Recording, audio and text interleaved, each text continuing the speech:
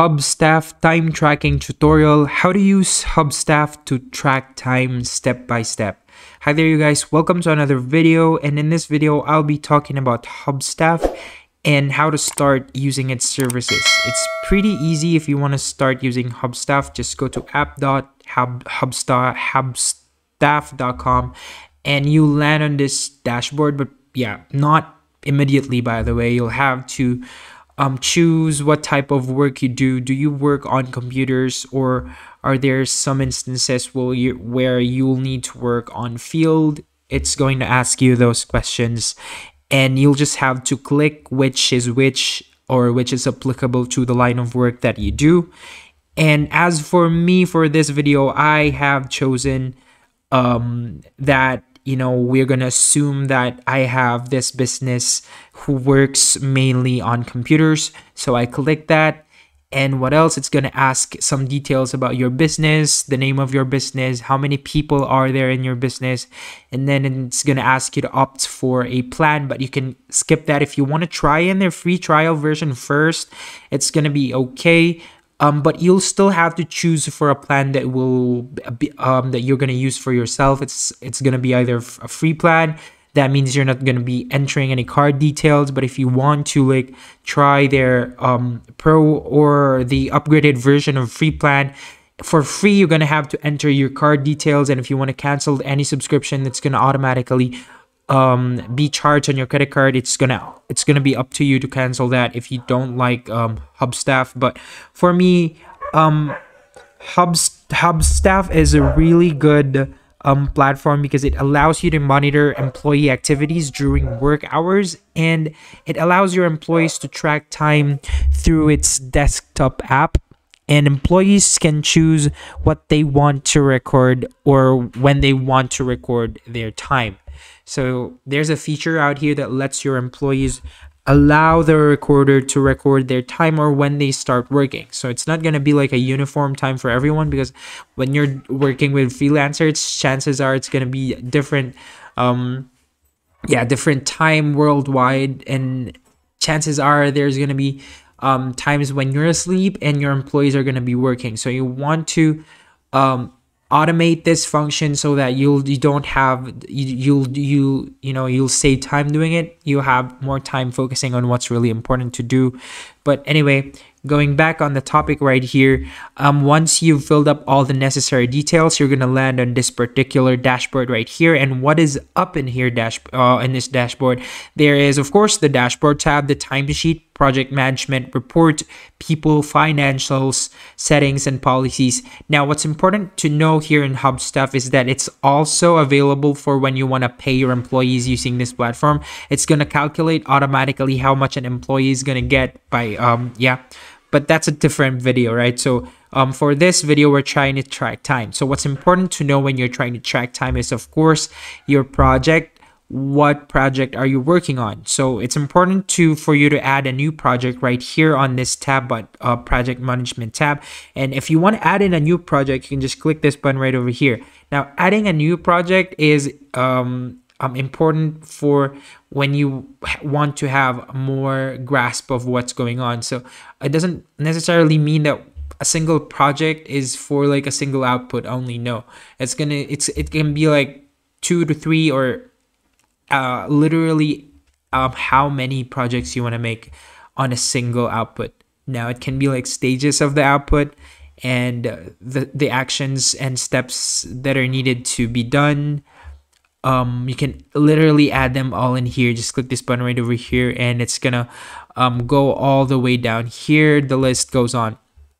For this video i've already like created not really but you know this are presets um, you don't necessarily have to create them yourself because it's going to ask you what type of business you're working on, right? It's going to be either for an engineering and accounting firm or like a creative team or something like that. I've chosen creative. That's why it shows me design and marketing right here because it's gonna um, go with design flow and then after the design flow we're gonna be dealing with marketing the design and stuff like that so what we're gonna do now is to try and edit the design right over here okay so what you can do here is this is basically actually what you'll see when you add a project itself. Um, what's important is to know these elements. Um, the general is, of course, the name of your project. Now, is it going to be billable or not? Or are you going to record the activity or not? This one is like for projects like calls or meetings. Um, it says here you can disable activity from being recorded so it won't affect the average. You know, um, chances are when you're watching things or when you're in a meeting or like when you're in a call with the manager, um, sometimes those types of um, things that are happening on your computer screen, they can get calculated and mistaken as time of work when in fact it's not. It's not a paid meeting, right? There's an option if you want to um, get a meeting paid or not. So, yeah.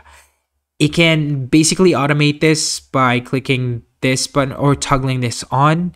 And if you want to exempt calls or meetings, you can disable activity from being recorded so it won't affect the average.